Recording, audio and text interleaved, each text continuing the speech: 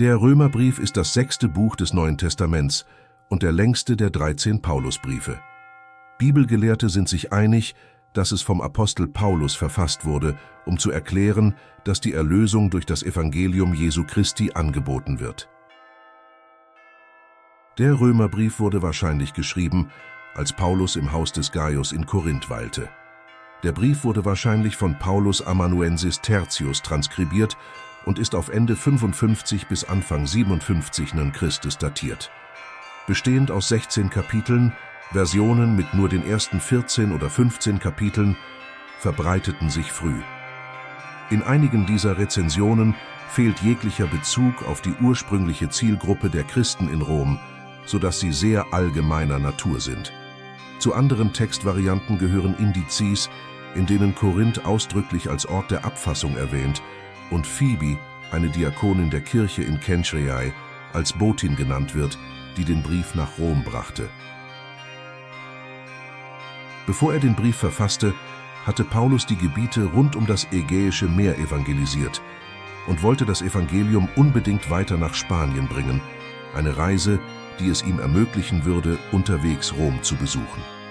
Der Brief kann folglich als ein Dokument verstanden werden, das seine Gründe für die Reise darlegt und die Kirche in Rom auf seinen Besuch vorbereitet. Die Christen in Rom hatten sowohl einen jüdischen als auch einen nichtjüdischen Hintergrund, und es ist möglich, dass die Kirche unter internen Konflikten zwischen diesen beiden Gruppen litt. Paulus, ein hellenistischer Jude und ehemaliger Pharisäer, verschiebt seine Argumentation, um sowohl das Publikum als auch die Kirche als Ganzes anzusprechen, da das Werkmaterial enthält, das sowohl für bestimmte Empfänger als auch für die allgemeine christliche Öffentlichkeit in Rom bestimmt ist, hatten Wissenschaftler Schwierigkeiten, es entweder als privaten Brief oder als öffentlichen Brief zu kategorisieren. Obwohl der Römerbrief manchmal als theologische Abhandlung angesehen wird, schweigt er zu vielen Themen, die Paulus an anderer Stelle anspricht, wird aber dennoch allgemein als wesentlich angesehen, insbesondere zur Rechtfertigung und Erlösung. Befürworter sowohl des Sola Fide als auch der römisch-katholischen Position der Notwendigkeit sowohl des Glaubens als auch der Werke finden im Römerbrief Unterstützung. Martin Luther fügte in seiner Bibelübersetzung kontrovers das Wort allein zu Römer 3,28 hinzu, so dass es lautete, so glauben wir also, dass der Mensch gerechtfertigt ist, ohne die Werke des Gesetzes zu tun, allein durch den Glauben. Nach Meinung des jesuitischen Bibelwissenschaftlers Joseph Fitzmere überwältigt das Buch den Leser durch die Dichte und Erhabenheit des Themas, mit dem es sich befasst, dem Evangelium der Rechtfertigung und Erlösung von Juden und Griechen, gleichermaßen durch die Gnade Gottes durch den Glauben an Jesus. Christus, der die Aufrichtigkeit und Liebe Gottes des Vaters offenbart. Der anglikanische Bischof N.T. Wright stellt fest, dass der Römerbrief weder eine systematische Theologie noch eine Zusammenfassung des Lebenswerks des Paulus ist, aber nach allgemeiner Meinung sein Meisterwerk. Er stellt die meisten seiner anderen Schriften in den Schatten, ein Alpengipfel, der über Hügel und Dörfer thront. Nicht alle Betrachter haben es im gleichen Licht oder aus dem gleichen Blickwinkel betrachtet, und ihre Schnappschüsse und Gemälde davon unterscheiden sich manchmal erstaunlich stark. Nicht alle Kletterer haben die gleiche Route zu den steilen Seiten genommen, und es herrscht häufig Meinungsverschiedenheit über den besten Zugang.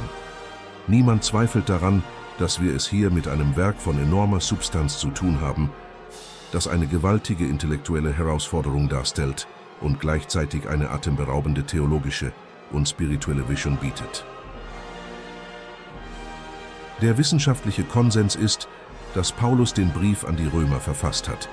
C.E.B. Cranfield sagt in der Einleitung zu seinem Kommentar zum Römerbrief, die Leugnung der Autorschaft des Paulus im Römerbrief durch solche Kritiker wird heute zu Recht auf einen Platz unter den Kuriositäten der neutestamentlichen Wissenschaft verwiesen.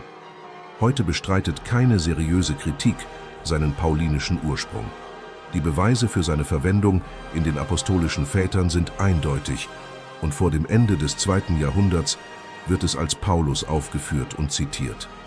In jeder erhaltenen frühen Liste neutestamentlicher Bücher ist es unter seinen Briefen aufgeführt.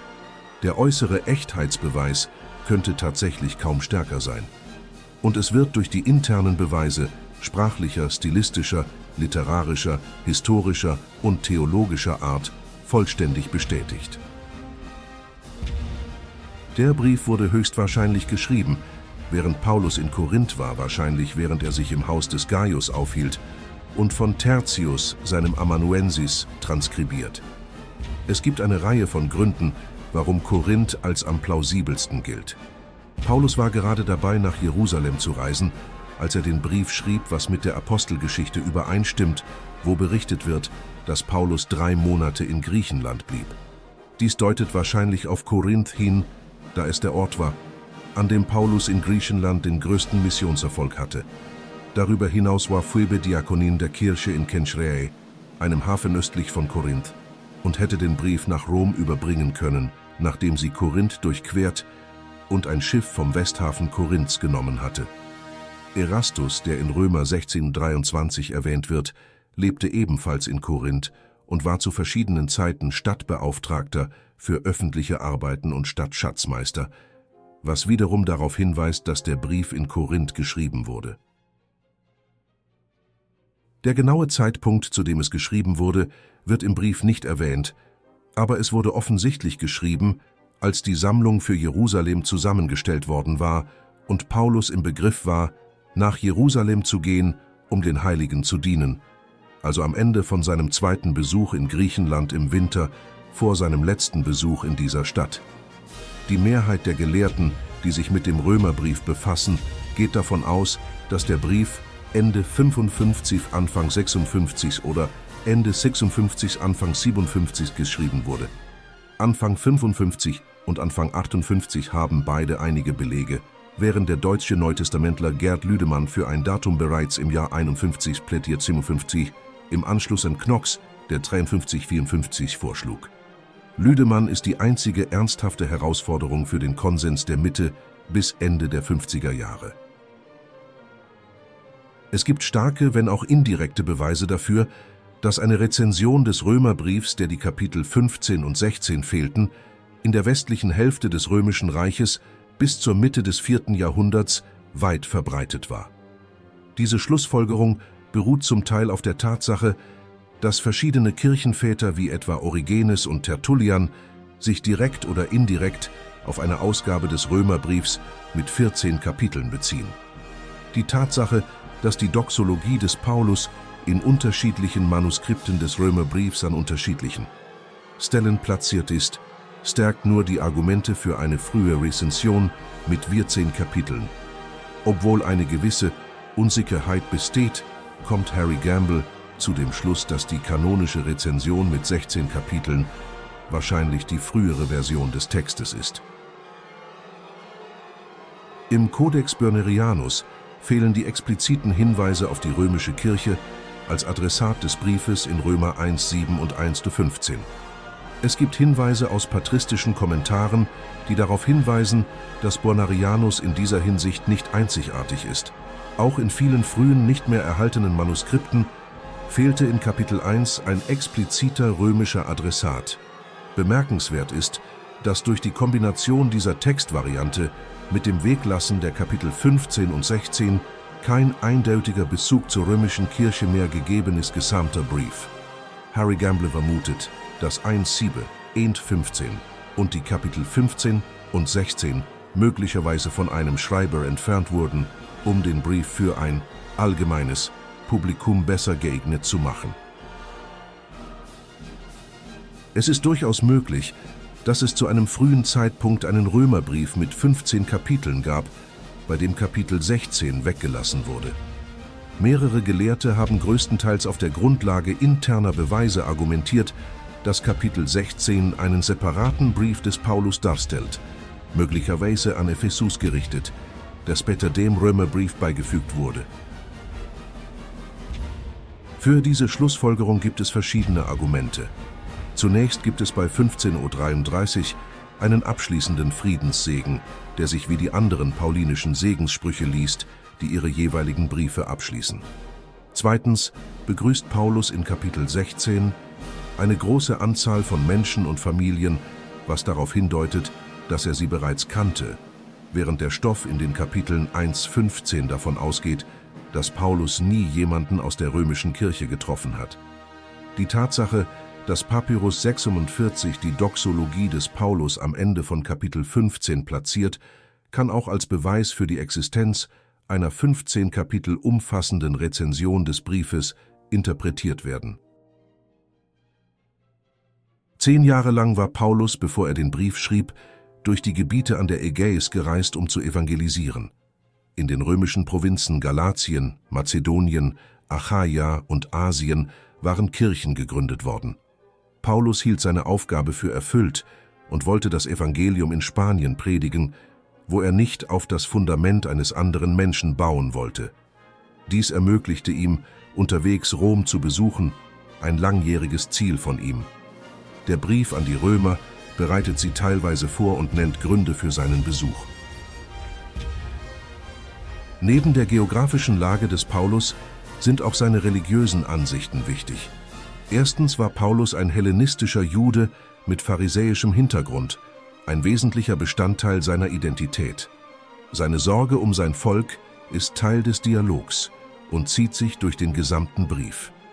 Zweitens ist die andere Seite des Dialogs die Bekehrung und Berufung des Paulus, Christus in den frühen 30er Jahren nachzufolgen.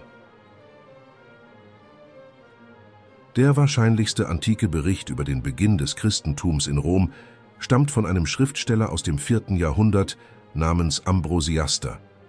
Es wird nachgewiesen, dass zur Zeit der Apostel Juden in Rom lebten und dass die Juden, die geglaubt hatten, von dort fortgingen den Römern die Tradition, dass sie sich zu Christus bekennen, aber das Gesetz halten sollten. Man sollte die Römer nicht verurteilen, sondern ihren Glauben loben, denn ohne Zeichen oder Wunder zu sehen und ohne einen der Apostel zu sehen, nahmen sie dennoch den Glauben an Christus an, wenn auch nach einem jüdischen Ritus. Von Adam Clark Der Anlass zum Schreiben des Briefes Paulus hatte sich mit allen Lebensumständen der Christen in Rom vertraut gemacht und festgestellt, dass es sich teilweise um zum Christentum konvertierte Heiden und teilweise um Juden handelte, die trotz vieler verbleibender Vorurteile an Jesus als den wahren geglaubt hatten Messias und dass viele Streitigkeiten aus den Ansprüchen der Heiden auf gleiche Privilegien wie die Juden und aus der absoluten Weigerung der Juden entstanden, diese Ansprüche anzuerkennen. Es sei denn, die nichtjüdischen Konvertiten ließen sich beschneiden. Er schrieb diesen Brief, um diese Differenzen auszugleichen und beizulegen. Zu dieser Zeit stellten die Juden in Rom eine beträchtliche Zahl dar, und ihre Synagogen, die von vielen Menschen besucht wurden, ermöglichten es den Heiden, die Geschichte von Jesus von Nazareth kennenzulernen. Infolgedessen wurden in Rom Kirchen gegründet, die sowohl aus Juden als auch aus Nichtjuden bestanden. Laut Irenäus, einem Kirchenvater des zweiten Jahrhunderts, wurde die Kirche in Rom direkt von den Aposteln Petrus und Paulus gegründet. Viele moderne Gelehrte sind jedoch anderer Meinung als Irenäus und vertreten die Auffassung, dass zwar wenig über die Umstände der Gründung der Kirche bekannt ist, diese jedoch nicht von Paulus gegründet wurde. Viele der Brüder gingen Paulus auf seiner Reise nach Rom entgegen. Es gibt Hinweise darauf, dass sich damals Christen in großer Zahl in Rom aufhielten und wahrscheinlich mehr als einen Treffpunkt hatten. Eastons Bibelwörterbuch Die große Zahl der Namen derjenigen, die sich damals in Rom aufhielten, in Römer 16, 15 und in den Versen 5, 15 und 16 deuten darauf hin, dass es in Rom mehr als eine Kirchenversammlung oder Gruppe von Gläubigen gab. In Vers 5 wird eine Kirche erwähnt, die sich im Haus von Aquila und Priscilla traf. Die Verse 14 und 15 erwähnen jeweils Gruppierungen von Gläubigen und Heiligen. Aufgrund von Unruhen wurden Juden um 49. Christus durch das Edikt von Claudius aus Rom vertrieben. Fitzmeier behauptet, dass sowohl Juden als auch Judenchristen aufgrund ihrer internen Machtkämpfe vertrieben wurden. Claudius starb um das Jahr 54 nach Christus und sein Nachfolger Kaiser Nero erlaubte den Juden die Rückkehr nach Rom. Doch nach dem großen Brand von Rom im Jahr 64 wurden die Christen verfolgt. Fitzmeier argumentiert, dass mit der Rückkehr der Juden nach Rom im Jahr 54 ein neuer Konflikt zwischen den Heidenchristen und den zuvor vertriebenen Judenchristen entstanden sei. Er argumentiert auch, dass Paulus dies möglicherweise meint, wenn er in Römer 15 von den Starken und den Schwachen spricht. Diese Theorie wurde ursprünglich von W. Marxen in Einführung in das Neue Testament, eine Annäherung an seine Probleme dargelegt, wird aber von Fitzmir kritisiert und modifiziert. Fitzmirs Hauptargument ist, dass Paulus absichtlich vage zu sein scheint. Paul hätte konkreter sein können, wenn er dieses Problem konkret ansprechen wollte. Keck glaubt, dass Heidenchristen möglicherweise eine Abneigung gegen Juden entwickelt haben oder auf sie herabgesehen haben, weil sie theologisch begründet hatten, dass Juden nicht mehr Gottes Volk seien. Wissenschaftler haben oft Schwierigkeiten zu beurteilen, ob der Römerbrief ein Brief oder eine Epistel ist, ein relevanter Unterschied in der formkritischen Analyse. Ein Brief ist etwas Nicht-Literarisches, ein Kommunikationsmittel zwischen voneinander getrennten Personen. Da es vertraulicher und persönlicher Natur ist, ist es nur für die Person oder Personen bestimmt, an die es gerichtet ist und keineswegs für die Öffentlichkeit oder irgendeine Art von Werbung. Eine Epistel ist eine künstlerische literarische Form, genau wie der Dialog, der Rede oder Drama. Mit dem Brief hat es außer seiner Form nichts gemeinsam. Ansonsten könnte man das Paradoxon wagen, dass die Epistel das Gegenteil eines echten Briefes ist. Der Inhalt des Briefes ist für die Öffentlichkeit bestimmt, er zielt darauf ab, die Öffentlichkeit zu interessieren. Joseph Fitzmere argumentiert anhand der von Stierewald vorgelegten Beweise, dass der Stil des Römerbriefs ein Aufsatzbrief sei. Philipp Melanchthon, ein Schriftsteller während der Reformation, schlug vor, dass der Römerbrief Caput et Summa Universae Doctrinae Christianae sei. Während einige Gelehrte wie Melanchthon vermuten, dass es sich um eine Art theologische Abhandlung handelt, ignoriert diese Ansicht weitgehend die Kapitel 14 und 15 des Römerbriefs. Außerdem fehlen im Römerbrief viele bemerkenswerte Elemente, die in anderen Bereichen des paulinischen Korpus enthalten sind. Der Zerfall des Römerbriefs als Abhandlung begann mit FC Bauer im Jahr 1836, als er vorschlug, dieser Brief müsse entsprechend den historischen Umständen interpretiert werden, unter denen Paulus ihn schrieb. Paulus verwendet manchmal einen zu seiner Zeit üblichen Schreibstil, der als Diatribe bezeichnet wird. Er scheint einem Kritiker zu antworten und der Brief ist in eine Reihe von Argumenten gegliedert. Im Verlauf des Briefes ändert Paulus seine Argumente und wendet sich manchmal an die jüdischen Mitglieder der Kirche, manchmal an die nichtjüdischen Mitglieder und manchmal an die Kirche als Ganzes. Einen Überblick über die aktuellen wissenschaftlichen Standpunkte zum Zweck des Römerbriefs sowie eine Bibliografie finden Sie im Wörterbuch des Paulus und seiner Briefe. Eine Sicht des Lollard-Reformers aus dem 16. Jahrhundert finden Sie im Werk von William Tyndale. In seinem Prolog zu seiner Übersetzung des Römerbriefs, der größtenteils dem Prolog des deutschen Reformators Martin Luther entnommen ist, schreibt Tyndale, dieser Brief ist der wichtigste und hervorragendste Teil des Neuen Testaments und die reinste Evangelion, das heißt die frohe Botschaft und das, was wir das Evangelium nennen, und auch ein Licht und ein Weg in die gesamte Schrift. Die Summe und der ganze Grund für die Niederschriften dieses Briefes besteht darin, zu beweisen, dass der Mensch nur durch den Glauben gerechtfertigt ist. Wer diesen Satz leugnet, für den gilt nicht nur dieser Brief und alles, was Paulus schreibt, sondern auch die gesamte Heilige Schrift, die so verschlossen ist.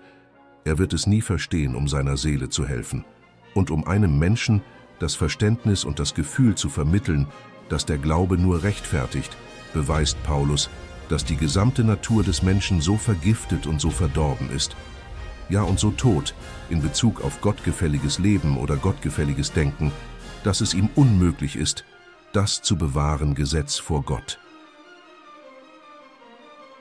Begrüßung 117 Die Einleitung enthält einige allgemeine Anmerkungen zu Paulus. Hier stellt er sein Apostelamt vor und gibt einleitende Anmerkungen zum Evangelium, das er der Kirche in Rom predigen möchte. Die menschliche Linie Jesu geht auf David zurück.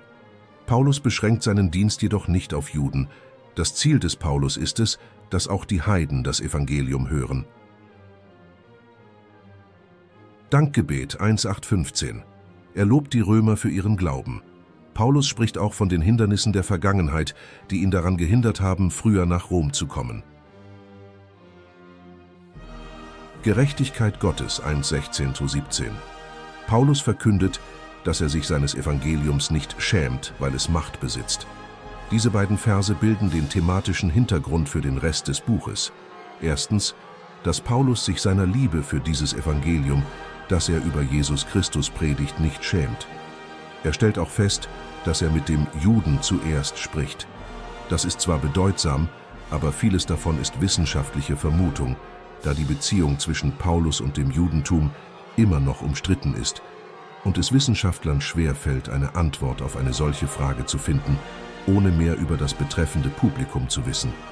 Wayne Brindle argumentiert, basierend auf den früheren Schriften des Paulus gegen die Judaisten, im Galaterbrief und im zweiten Korintherbrief, dass sich wahrscheinlich Gerüchte verbreitet hatten, dass Paulus die jüdische Existenz in einer christlichen Welt völlig negierte.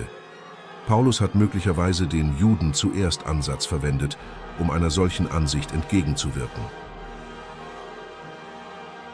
Paulus Warnung vor Heuchlern 2. 1.4 In Anlehnung an die traditionelle protestantische Interpretation ruft Paulus hier Juden auf, die andere dafür verurteilen, dass sie sich nicht an das Gesetz halten, während sie selbst sich ebenfalls nicht an das Gesetz halten. Stanley Stowers hat jedoch aus rhetorischen Gründen argumentiert, dass Paulus in diesen Versen überhaupt keinen Juden anspricht, sondern vielmehr eine leicht erkennbare Karikatur der typischen prahlerischen Person. Stowers schreibt, es gibt absolut keine Rechtfertigung dafür, 2,15 als Angriff des Paulus auf die Heuchelei der Juden zu lesen. Niemand im ersten Jahrhundert hätte Hoalason mit dem Judentum identifiziert. Diese populäre Interpretation beruht auf der anachronistischen Interpretation späterer christlicher Charakterisierungen von Juden als heuchlerische Pharisäer. Begründung Das Geschenk der Gnade und Vergebung durch Glauben 3.21.5.11 Paulus sagt, dass sich unabhängig vom Gesetz eine Gerechtigkeit von Gott kundgetan hat, die das Gesetz und die Propheten bezeugen, und dass diese Gerechtigkeit von Gott durch den Glauben an Jesus allen Gläubigen zuteil wird. Er beschreibt die Rechtfertigung, die rechtliche Freisprechung des Gläubigen von der Schuld und der Strafe der Sünde, als eine Gabe Gottes und nicht als Werk eines Menschen, sondern durch den Glauben. Heilsgewissheit 5.11 In den Kapiteln 5 bis 8 argumentiert Paulus, dass Gläubige ihrer Hoffnung auf Erlösung gewiss sein können, wenn sie von der Knechtschaft der Sünde befreit sind.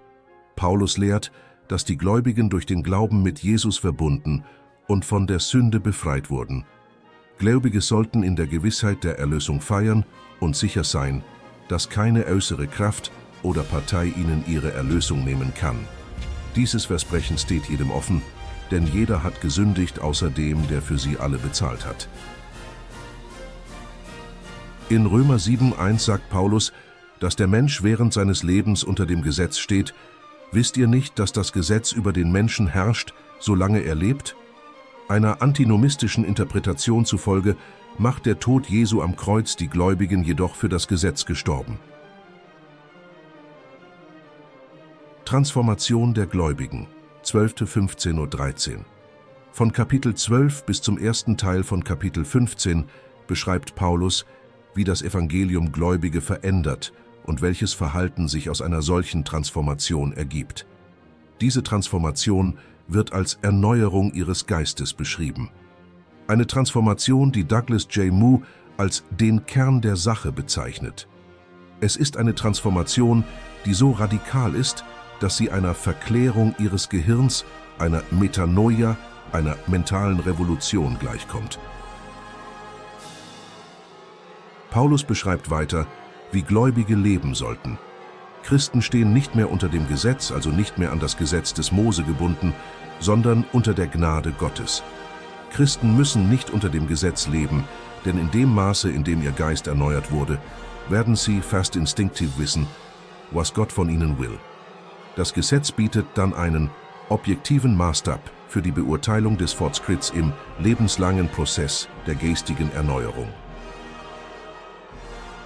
In dem Maße, in dem sie durch einen erneuerten Geist von der Sünde befreit wurden, sind Gläubige nicht länger an die Sünde gebunden. Den Gläubigen steht es frei, im Gehorsam gegenüber Gott zu leben und jeden zu lieben. Wie Paulus in Römer 13,10 sagt, die Liebe tut seinem Nächsten nichts Böses.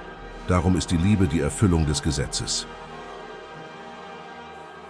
Katholische Interpretation Katholiken akzeptieren die Notwendigkeit des Glaubens für die Erlösung, verweisen aber auch auf die Notwendigkeit, ein tugendhaftes Leben zu führen, auf Römer 2, 5, 11.